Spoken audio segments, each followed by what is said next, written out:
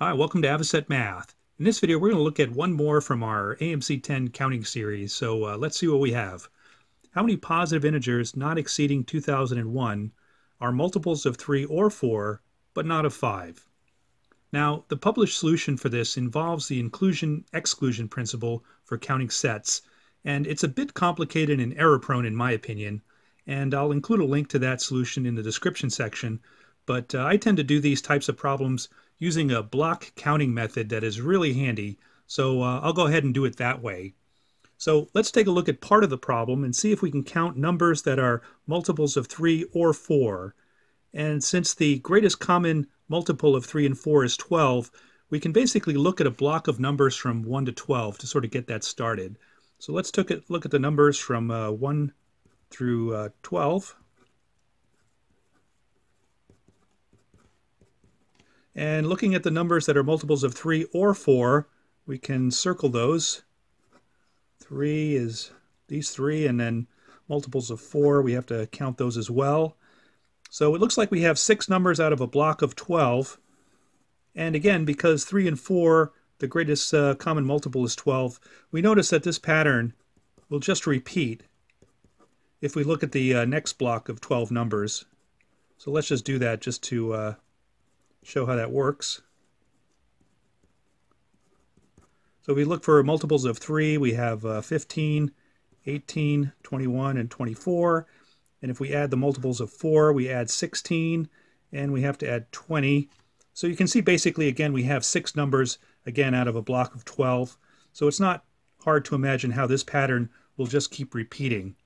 So out of 12 numbers, it looks like for this part of the problem, we have uh, 6 out of 12, and if we were to expand this to a block of 60, sort of anticipating the greatest common multiple of 3, 4, and 5, we would have uh, 30 out of 60 numbers satisfying the 3 or 4 condition. So now comes the problem of trying to eliminate the numbers that are multiples of 5.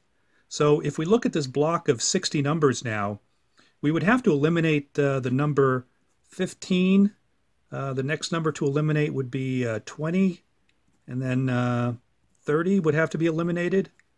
40 and 45. And lastly, 60. So it looks like we have uh, six numbers here that we would have to eliminate out of a block of 60. And that would reduce this 30 out of 60 numbers to 24 out of 60 numbers that are 3 or 4, but not 5. And that's the key here. So for every block of 60 numbers, we'll have 24 numbers which satisfy all of these conditions. So now it's just a matter of trying to figure out how many blocks of 60 numbers are there in 2001. And we can do that with a simple division. So 2001 divide by 60, so we have 180 uh,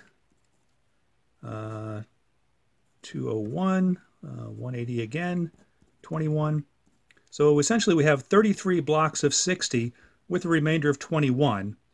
And so if we uh, multiply 33 times the 24, we have uh, 72, 72, 792 for those blocks of 60.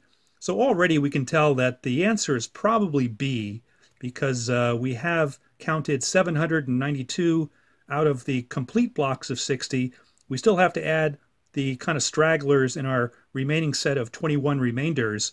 But already we can see we're very close to 801, and that's probably the right answer. But uh, let's go ahead and do the complete count and look at how many numbers satisfied this uh, remainder set of 21. So we have to go back to our original list here and count up to 21 and go ahead and eliminate those that are multiples of 5, 15 and 21. And what's left from this remainder set is then uh, 1, 2, 3, 4, 5, 6, 7, 8, 9. So adding 9 to this count, we get uh, 801 for their final count, and that in fact is choice B. Again, a pretty simple uh, problem if you kind of look at it with block counting. It's a bit more complicated, I think, if you look at it with uh, inclusion and exclusion. But uh, again, you can go ahead and look at the description section for a link to that solution. So hope that was clear, and we'll see you at the next video. Take care.